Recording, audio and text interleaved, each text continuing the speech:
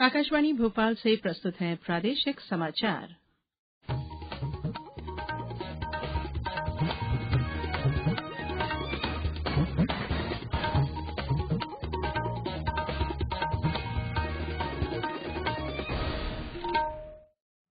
नमस्कार, समाचारों के साथ मैं धारणा सचदेव। सबसे पहले इस बुलेटिन के मुख्य समाचार। प्रदेश में अगले एक वर्ष में एक लाख सरकारी पदों पर भर्ती की जाएगी। इसी माह चालीस हज़ार पदों के विज्ञापन जारी होंगे, कहा मुख्यमंत्री शिवराज सिंह चौहान ने। चुनाव आयोग ने दिव्यांग मतदाताओं की सहायता के लिए ऐप की शुरुआत की। दिसंबर 2023 तक बच्चों को मीजल्स और रूबेला से मुक्त करने के लिए व्यापक टीकाकरण किया जाएगा और एफआईएच प्रो लीग हॉकी में भारत ने न्यूजीलैंड को कल सात चार से हराया। अब समाचार विस्तार से। मुख्यमंत्री शिवराज सिंह चौहान ने कहा कि प्रदेश में अगले एक वर्ष में एक लाख सरकारी पदों पर भर्ती की जाएगी। इसी माह चालीस हज़ार पदों के विज्ञापन जारी होंगे। कल पीथमपुर में राज्य स्तरीय रोज़गार दिवस और एक जिला, एक उत्पाद कार्यक्रम को संबोधित करते हुए मुख्यमंत्री ने बताया कि रोज़गार दिवस पर प्रदेशभर में तीन लाख उन्नीस हज़ार युवाओं को विभिन्न योजनाओं के अंतर्गत स्वरोजगार के लिए ऋण स्वीकृत किए गए हैं। उन्होंने कहा कि प्रदेश को पीथमपुर पर गर्व है। कोविड के दौरान केवल देश की ही नहीं, दुनिया के कई देशों को यहाँ की फार्मा कंपनियों ने दवाइयाँ सप्लाई की हैं। यहाँ इंदौर, उज्जैन संभाग के विभिन्न जिलों के एक जिला, एक उत्पाद योजना में चयनित उत्पादों की और धार ज़िले के स्टार्टअप उद्यमियों की प्रदर्शनियाँ लगाई गईं। चुनाव आयोग ने दिव्यांग मतदाताओं की सहायता के लिए बनाए गए पीडब्ल्यूडी ऐप 2.0 की शुरुआत की है। मुख्य निर्वाचन आयुक्त राजीव कुमार ने कल नई दिल्ली में देश के पहले दिव्यांग मतदाताओं से संबंधित पीडब्ल्यूडी आइकन्स राष्ट्रीय सम्मेलन के दौरान इसकी शुरुआत की। सम्मेलन में चुनाव के प्रति संवेदनशीलता के लिए प्रशिक्षण कार्यक्रम का शुभारंभ भी किया गया। मुख्य निर्वाचन आयुक्त ने कहा कि निर्वाचन आयोग चुनाव प्रक्रियाओं और गतिविधियों को सभी के लिए सुलभ बनाने के प्रति वचनबद्ध है। उन्होंने कहा कि दिव्यांगता किसी भी व्यक्ति की अक्षमता नहीं होती है। श्री कुमार ने कहा कि आयोग चुनाव प्रक्रिया को और अधिक समावेशी बनाने के लिए मिलने वाले सुझावों पर विचार करेगा। उन्होंने कहा कि अधिक से अधिक मतदाताओं और विशेष आवश्यकता वाले व्यक्तियों तक पहुँचने के लिए आयोग दिव्यांगजन सशक्तिकरण विभाग के साथ मिलकर कार्य कर रहा है। श्री पांडे ने कहा कि इस तरह के सम्मेलन विचारों को आदान प्रदान करने के लिए एक मंच उपलब्ध कराते हैं, जिससे चुनाव प्रक्रिया को अधिक समावेशी और प्रभावी बनाया जा सकता है।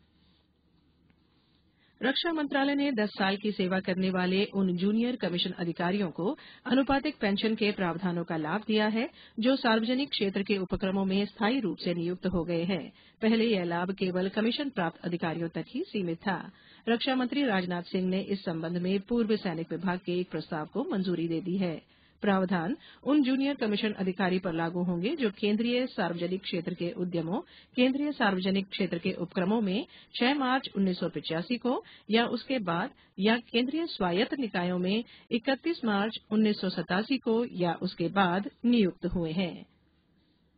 मध्य प्रदेश उच्च न्यायालय के मुख्य न्यायाधीश रवि मलिमठ और न्यायमूर्ति विशाल मिश्रा की खंडपीठ ने राष्ट्रीय राजमार्ग क्रमांक सात के लिए ज़मीन अधिग्रहण प्रक्रिया को चुनौती देने वाली याचिका पर सरकार को याचिकाकर्ता को निर्धारित मुआवजे के अतिरिक्त पाँच लाख रुपये का भुगतान करने के आदेश दिए हैं। इसके लिए कोर्ट ने छह माह की समय सीमा निर्धारित की है।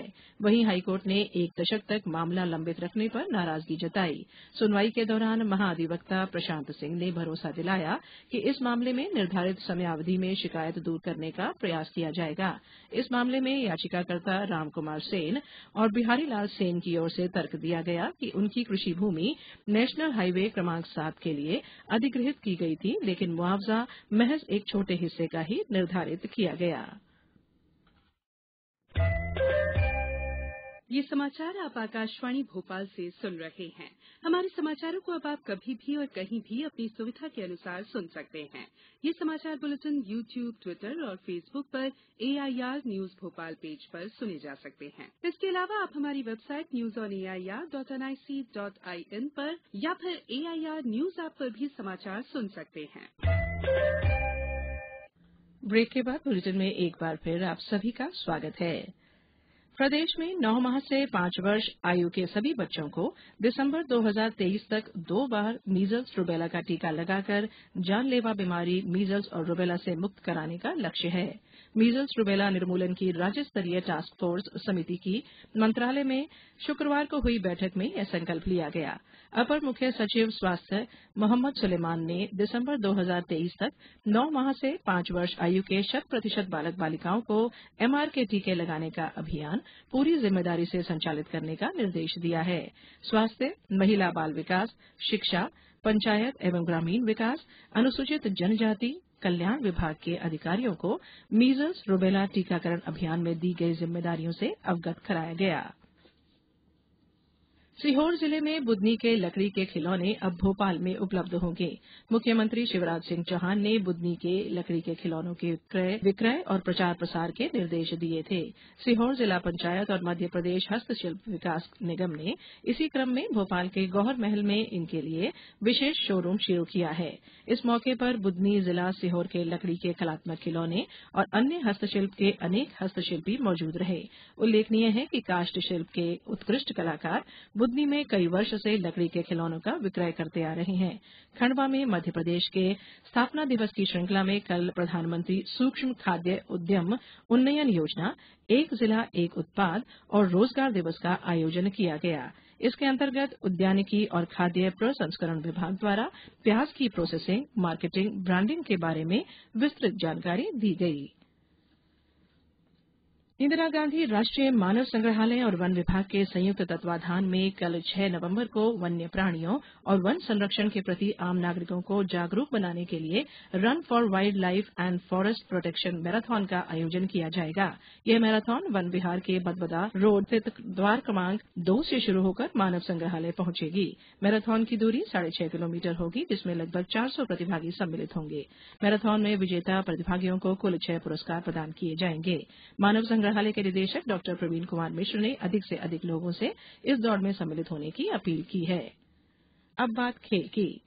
एफआईएच प्रो लीग हॉकी में कल भुवनेश्वर में भारत ने न्यूजीलैंड को सात चार से हरा दिया। भारतीय टीम ने शुरुआत से ही बढ़त बनाई और दूसरे क्वार्टर तक लगातार छह गोल दागे। भारत प्रो लीग की अंक तालिका पर शीर्ष स्थान पर है और उसके तीन मैचों से छह अंक हैं। वहीं हाइलो ओपन बैडमिंटन टूर्नामेंट में किदाम्बी श्रीकांत जर्मनी में कल सेमीफाइनल में पहुँच गए हैं। श्रीकांत ने क्वार्टर फाइनल में इंडोनेशिया के जोनाथन क्रिस्टी को इक्कीस तेरह, इक्कीस उन्नीस से हराया। इससे पहले महिला डबल्स में भारत की ट्रीसा जॉली और गायत्री गोपीचंद की जोड़ी भी सेमीफाइनल में पहुँच गई। केंद्रीय स्वास्थ्य और परिवार कल्याण विभाग ने इंदौर के शासकीय दंत चिकित्सालय महाविद्यालय में स्नातकोत्तर पाठ्यक्रम के लिए नौ और सीटों को मान्यता प्रदान की है। वर्तमान में शासकीय दंत चिकित्सा महाविद्यालय में स्नातकोत्तर पाठ्यक्रम एमडीएस की उनतीस सीटें हैं। नर्मदापुरम ज़िले के पचमढ़ी में पर्यटन पर कार्यशाला आयोजित की गई। इसमें होटल संचालक, मैनेजर, ट्रेवल एजेंट, पचमढ़ी और क्षेत्र के आम नागरिकों ने हिस्सा लिया। आगरमालवा ज़िले में मलेरिया, डेंगू, चिकनगुनिया पर नियंत्रण के लिए एक दिवसीय तकनीकी प्रशिक्षण दिया गया। और उद्यानिकी एवं खाद्य प्रसंस्करण राज्य मंत्री भारत सिंह कुशवाह ने कहा कि ग्वालियर ज़िले में मौजूदा साल में 500 और अगले साल 2000 खाद्य प्रसंस्करण इकाइयाँ स्थापित की जाएँगी। इन इकाइयों की स्थापना पर सरकार 250 करोड़ रुपए खर्च करेगी। प्रदेश में अगले एक वर्ष में एक लाख सरकारी पदों पर भर्ती की जाएगी। इसी माह चालीस हज़ार पदों के विज्ञापन जारी होंगे, कहा मुख्यमंत्री शिवराज सिंह चौहान ने। चुनाव आयोग ने दिव्यांग मतदाताओं की सहायता के लिए ऐप की शुरुआत की। दिसंबर 2023 तक बच्चों को मीजल्स और रूबेला से मुक्त करने के लिए व्यापक टीकाकरण किया जाएगा और एफआईएच प्रो लीग हॉकी में भारत ने कल न्यूजीलैंड को सात चार से हराया। इस बुलेटिन में फ़िलहाल इतना ही। दीजिए इजाज़त। नमस्कार।